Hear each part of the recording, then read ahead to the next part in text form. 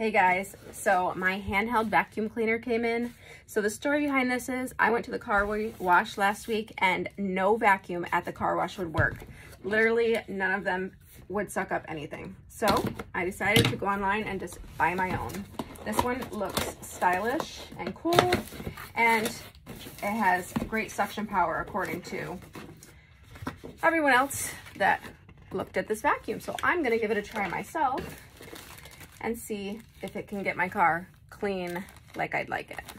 Comes with a nice user manual here.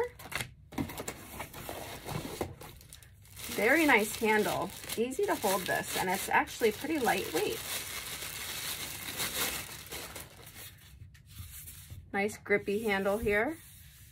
Got the edges. Easy to open cup, so I can dump it out quickly. Let's see if it comes powered on. That's the lowest power setting. Second, so it's got two settings it looks like.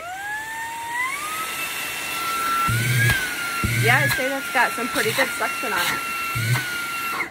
But what I want to see is what attachments I can use to clean my car. So let's see all the attachments it comes with. Quite a few. This one will be great for getting in those crevices of the car that you just can't stick your hand in and get everything clean. So that'll be nice. A way to hang the vacuum if I choose to, but I'm gonna leave this one in my car for cleaning. This is an extra filter. This brush will be nice for cleaning the seats off as it's got the little bristles on the end. And the actual charger itself. Rechargeable, just bring it in to charge every once in a while. It comes with the hardware to hang it on the wall if I choose to do that. Maybe I'll hang that in the garage. So I am gonna use it to clean my car. I'll let you know how the suction power goes with that. But it's pretty cool looking, I'd have to say.